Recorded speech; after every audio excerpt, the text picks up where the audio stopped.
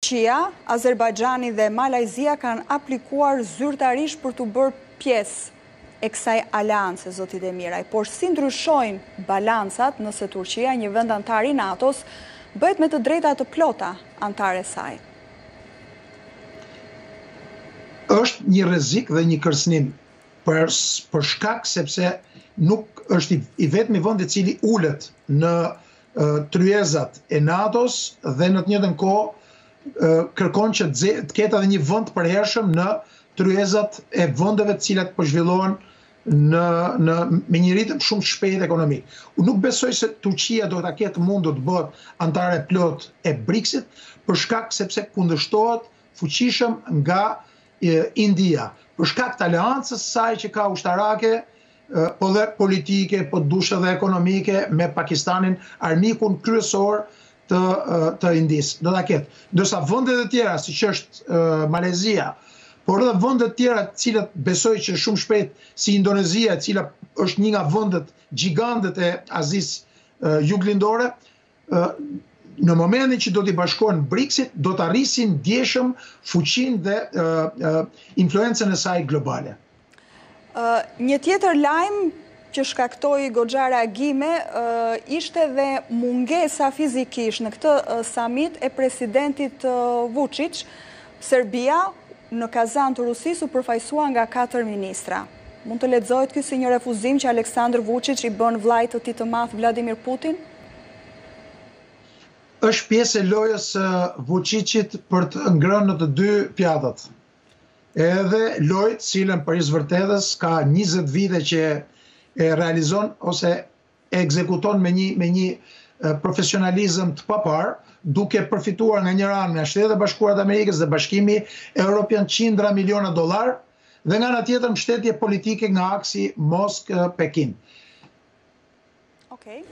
Ndërkaq, unë do doja të flasim pak tani, zoti Demiraj, për praninë e rreth 3.000 trupave të Koresë së Veriut, të cilat janë dërguar në Rusi, janë parë me shqetësim edhe nga presidenti i Ukrainës Zelenski, i cili ka paralajmëruar se Rusia ka ndërmend t'i dërgojë këto trupa në vijën e parë të luftës gjatë ditëve në vazhdim, po ashtu janë kritikuar edhe nga Shtetet e Bashkuara të Amerikës.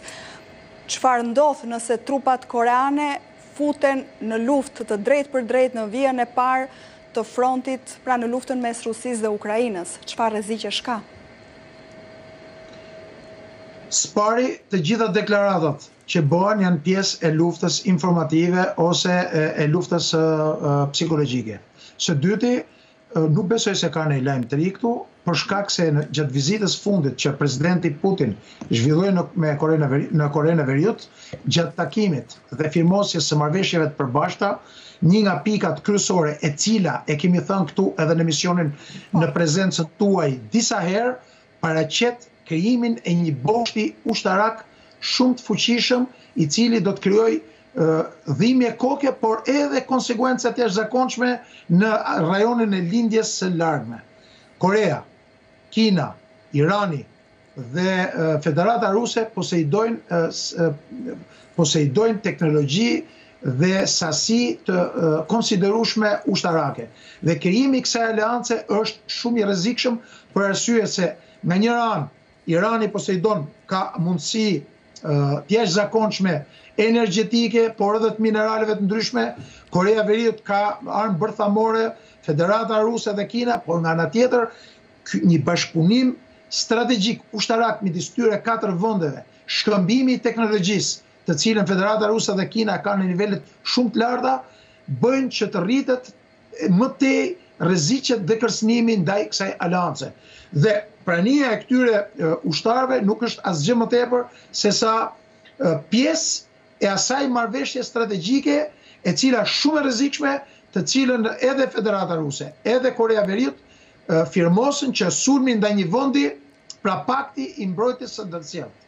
Po, po, prania e pra në terren, në në në frontin e luftës zoti Demiraj, do të thotë që Rusia do të përparojë edhe më tej, mund të sjellë një fitore më të shpejtë të Rusisë, një humbje të Ukrainës, mund të bëhen llogaritë kaq thjesht?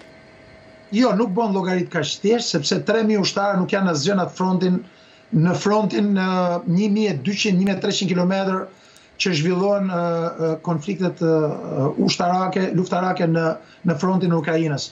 Është pjesë e asaj që sapo thash.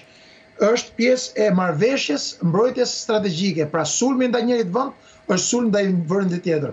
Unë e konsideroj si shumë të rrezikshëm këtë për Korenë e Veriut, për Korenë, më fal, për Korenë e Jugut në një kohë kur situata në në jugun e Koresë së Veriut dhe në veriun e Koresë Jugut është më e nderë se asnjëherë tjetër. Të mos harrojmë faktin që edhe baza një, një sasi e jashtëzakonshme e bazave amerikane gjendet në Kore, por në të njëjtën kohë edhe në edhe në uh, Japoni. që do të thotë që zhvillimi dhe përforcimi i kapaciteteve dhe i teknologjisë ushtarake të Koresë së Veriut, rritja dhe intensifikimi i bashkëpunimit me Federatën Ruse nuk është asgjë më tepër përveç se një kërcënim për Japoninë, për Korenë e Jugut dhe për bazat amerikane në këtë rajon. Asnjë kërcënim për Shtetet e Bashkuara të Amerikës apo për NATO-n, pra gjithçka lidhet me rajonin? E ka thënë pra, nazi. S'ka asnjë lidhje me NATO-n, sigurisht me Shtetet e Bashkuara të Amerikës ka rreziqe, sepse thashë një sasi e konsiderueshme bazash ushtarake ndodhen në afërsi të Koresë së Veriut dhe në mënyrë të veçantë në tre zona, në Korenë e Jugut, në Guam, që është një ishull në Oqeanin Paqësor dhe në Japoni.